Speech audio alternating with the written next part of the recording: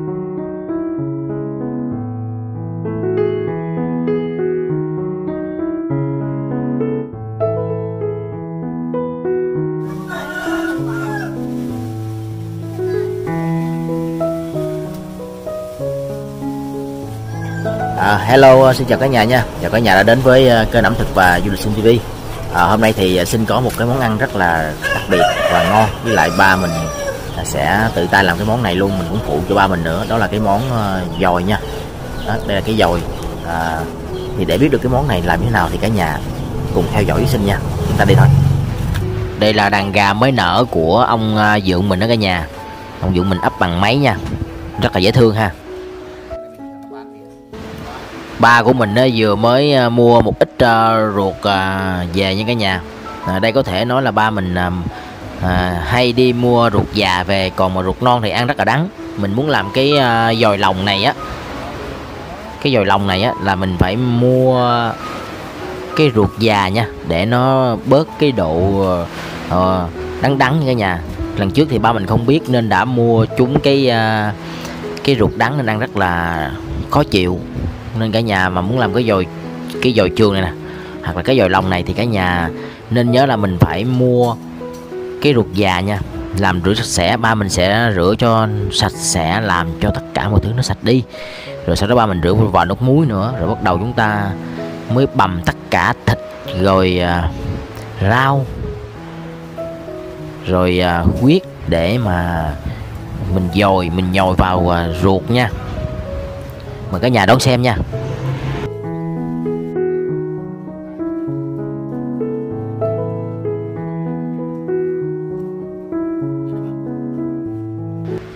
Bây giờ thì uh, ba của mình đã chọn lọc ra hết tất cả mọi thứ rồi ruột ra ruột ha. Còn đây là những cái phần thừa của ruột thì đây sẽ là mình sẽ bầm bỏ vào ruột luôn không biết nhiêu đây là có ờ, mình có bỏ đủ hay không. Nếu không đủ thì mình sẽ để cái phần ruột có lại để mà mình à, nhậu nha. Còn đây là thịt thì mình sẽ bắt đầu à, bỏ ít thịt vô đây để mình bầm chung với à, một mớ cái mỡ ruột này cả nhà.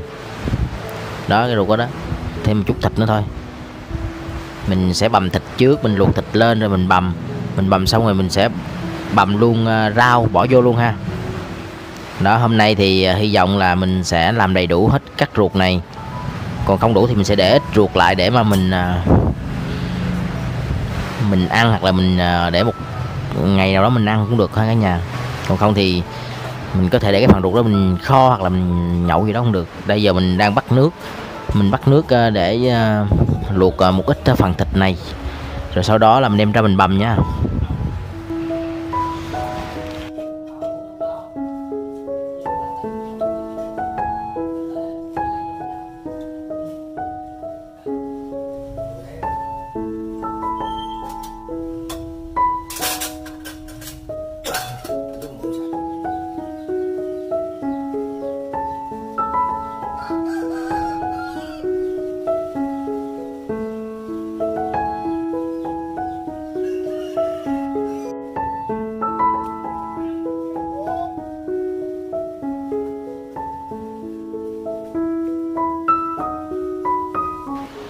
Cả nhà ơi sáng giờ mình rất là đói bụng. Đây là đồ ăn sáng của đảo mình.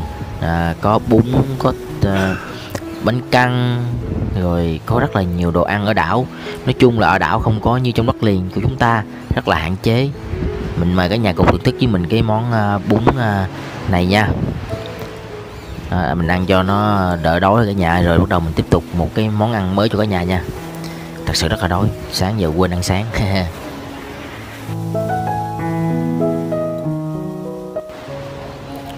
rồi cả nhà đây là một ít bánh tráng của mẹ mình. À, thường thường mẹ mình hay à, nấu hay à, nướng để trong đây. Đó. Còn đây là một ít à, xúc xích lặt xưởng trong cái tủ này. Đó, rất là ngon ha cả nhà ha tuyệt vời luôn. À, bây giờ mình sẽ à, bắt đầu bầm nha. Mình sẽ bầm như rau. Đây là à, rau nha cái nhà biết rau nào thì à, bình luận với mình nha mình không nói. Còn à, bất còn bây giờ thì mình sẽ cùng với cái nhà băm thịt và tất cả mọi thứ để bắt đầu à, mình vô ruột nha bơm vô ruột nha. Còn đây là này, tất cả những cái món mà hôm nay nhà mình làm á có cánh gà đùi gà với lại cá nữa. Còn đây là giò heo thịt heo. Rồi bây giờ chúng ta bắt đầu làm việc nha để mình lấy cái rổ xuống cái cây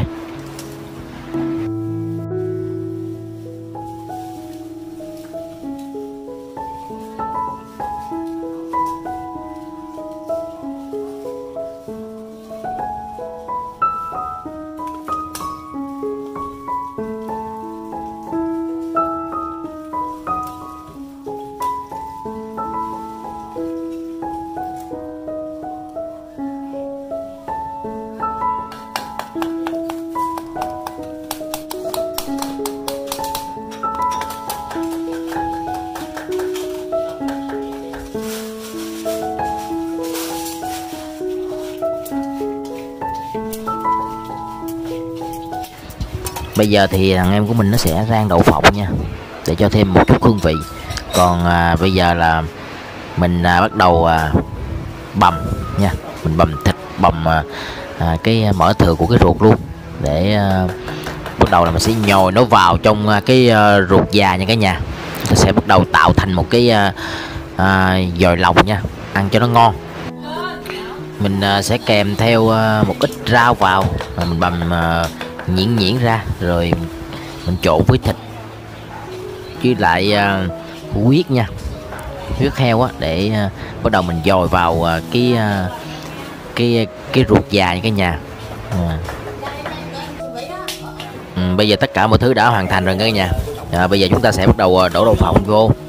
À, rồi à, mình sẽ trộn chung với uh, huyết heo huyết heo nha và chúng ta sẽ trộn chung với thịt rồi sau đó mình sẽ nhồi vào à, mình sẽ nhồi vào à, ruột già nha để tạo thành một cái à, dòi lòng nha.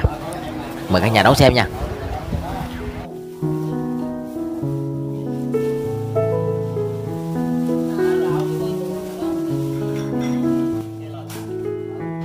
Ok, bây giờ mình đã xong xuôi rồi đó mọi người. Đây là cái dồi trường mà ngày hôm nay à, Dồi lòng chứ. Ngày hôm nay thì hai anh em mình đã làm xong bây giờ mình sẽ để nó vào tủ lạnh cho nó hơi lạnh lạnh cho nó hơi cứng cứng rồi đem ra mình luộc nha. Rồi mình thưởng thức cái món này nha cả nhà. À, cái món này làm cũng rất là công phu là cực nhưng mà đổi lại là mình ăn rất là ngon. Quá trời tuyệt vời luôn cả nhà ơi. Hy vọng sẽ là một bữa tiệc ngon. Quan trọng là cái nước chấm á nha nước chấm rất là ngon nha. Mình làm ngon nhưng mà nước chấm không ngon vậy à. Đó, bắt đầu mình sẽ đem đi luộc ha. Đó, mình luộc nè mà trong lúc mà mình luộc á, mình sẽ dùng một cây tăm. Khi mà gần chín mình sẽ dùng cây tăm mình đâm đâm đâm để cho nó thoát hơi bớt. Để không à, bị à, căng lên và phùng bể nha. Ba mình nói vậy đó.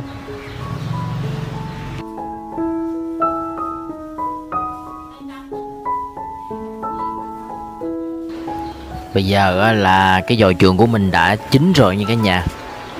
Rất là ngon nha. Dồi trường hay dồi lòng thì nó cũng vẫn như nhau thôi. Rất là ngon à, mình đã bỏ nó vào một cái chảo thật là bự để mà mình à, có thể à, cho nó rộng rãi hơn để mình à, luộc một lần nữa cho nó chín rồi sau đó mình sẽ để vào tủ lạnh cho nó đông cứng cho nó cứng cứng lại nha mọi người. Đó mình đã đâm lỗ hết trơn rồi. Giờ mình luộc thêm cỡ 10 phút nữa rồi sau đó mình đem vào tủ lạnh mình cắt. Rồi mình sẽ đem ra mình luộc lại hoặc là mình chiên. Thì cả nhà thôi ví dụ như mình đã làm xong rồi thì mình đem ra mình luộc hoặc là mình uh, chiên giòn mình sắc mình đã bỏ vào uh, tủ lạnh hai bọc nha cả nhà. Hôm nay uh, mình làm hơi bị nhiều á. Còn một chút ruột thừa còn lại thì mình để uh, làm món khác. Mình sẽ để cho nó hơi cứng cứng nha. Giờ mình đóng lại. Vậy đi. Ok. Đây là một uh, phần uh, dồi uh, lòng. Mình đem ra mình uh, thưởng thức cho cả nhà cùng xem nha. Thực sự ra còn rất là nhiều à, cái nhà mình thấy là tùy người có người thể thích ăn chiên và không ăn chiên. Còn hôm nay thì mình đem ra để mà mình à, ăn cho mọi người xem nha. Bây giờ mình sẽ ăn thử một cục trước cho mọi người xem nha. Trời ơi. Ừ. trời đúng chất lượng luôn cả nhà tự mình làm ra đúng chất lượng luôn. Nó không có ngán nha ăn nó dai dai. Với lại à, quá đã luôn tuyệt vời. Ok nha cả nhà ngon quá.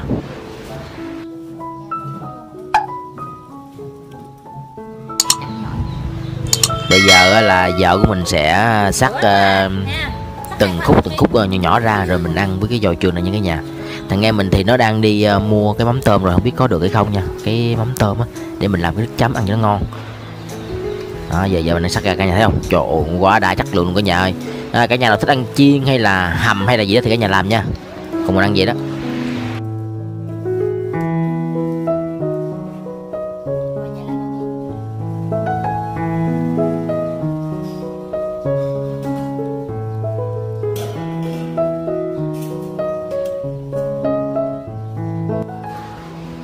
Bây giờ mình đã hoàn thành xong hết tất cả mọi thứ. Bây giờ mình mời cả nhà cùng thưởng thức với mình à, cái món giòi dòi lòng này nha. Thằng em của mình nó đi mua không có cái mắm tôm được cả nhà ơi buồn quá à. Để coi mình thưởng thức coi um, nó có ngon hay không nha. Bây giờ chúng ta bắt đầu ăn rồi cả nhà ơi. Cái món ngon vậy thì làm sao? Mình thiếu bia đúng không cả nhà? Bây giờ mình sẽ lấy đá bỏ vào đây để mình bắt đầu nhậu nha cái món ngon, đáng lý món này phải uống rượu mới đúng. Nhưng mà mình, hôm nay à, hơi bị à, ngắn ngắn rượu một chút, tại lần trước mình nhậu rồi. Bây giờ mình sẽ uống bia nha, để thưởng thức cái món à, dồi lòng này nha cả nhà.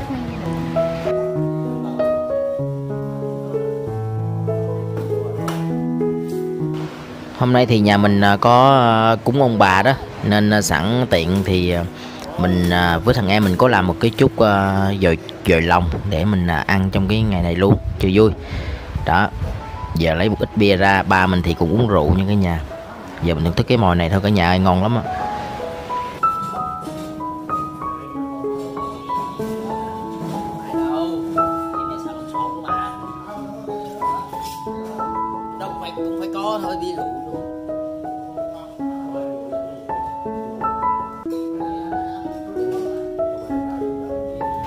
Hôm nay thì à, nhà mình có rất là nhiều món ăn nha cái nhà rất là món uh, ngon.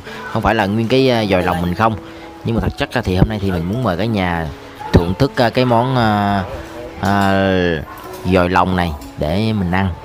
Thật sự đây là lần đầu tiên mình với thằng em mình thử tay nghề làm cái món này. Đó, rất là ngon nha cả nhà. Tại vì mình đã ăn rồi. À, cái này là em mình có ướp thêm một chút gia vị bột ngọt tương với lại à, nước mắm hay là đường gì đó. Thì nó cũng có một chút gia vị nhưng mà do ngày à, nhưng mà do là à, mình hôm nay á là mình không có mua được cái mắm tôm á cả nhà. Cái này có mắm tôm á mình làm rất là ngon nha bá cháy luôn. Anh em nào ở miền bắc thưởng thức được cái món này là đã hiểu. Rất là ngon chỉ thiếu cái nước chấm thôi quan trọng là cái nước chấm là ăn là là bá cháy luôn rất là ngon luôn cả nhà. Ngon lắm cả nhà tuyệt vời luôn.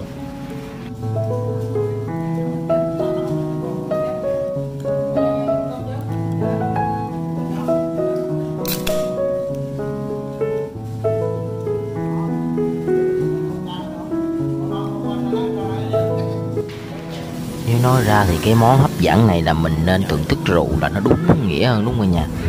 Nhưng cả nhà thông cảm cho mình ngày hôm nay nha, tại vì mình hôm qua mình có nhậu với à, mấy ông anh của mình á, về rượu quá nhiều rồi, hơi chạy một chút. Bây giờ mình sẽ uống bia nha. Đó cả nhà thấy ngon không? Quá hấp dẫn luôn. Trời ơi cắn miếng rồi quá trời đã luôn cả nhà ơi. Quá đã luôn á. Giờ ăn à, một miếng này nữa nha, cho cho nó ngon quá trời. Ôi, tuyệt vời luôn. Trời ơi nhìn cái này giống như là mình đang mình, mình đang ăn một cái ờ, tô cháo lòng vậy đó. Nhưng mà cái này thì chất lượng hơn tô cháo lòng rồi. Cháo lòng thì thường thường cháo lòng người ta làm ăn rất là ngán nha mọi người. Bây giờ mình mời cả nhà cùng uh, uống với mình ly bia này nha. Chúc uh, cả nhà uh, nhiều điều uh, vui tươi và hạnh phúc hơn. Thôi bây giờ mình uh, ăn nha cả nhà.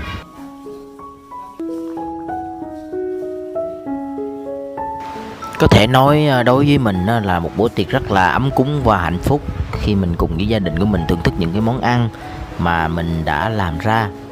À, cả nhà ơi mình hãy trân trọng những giây phút này đối với gia đình mình. Thì nếu ai có gia đình yêu thương hơn thì hãy yêu thương họ nhiều hơn. Còn không được như vậy thì mình hãy trân trọng về bản thân mình nhiều hơn nhé.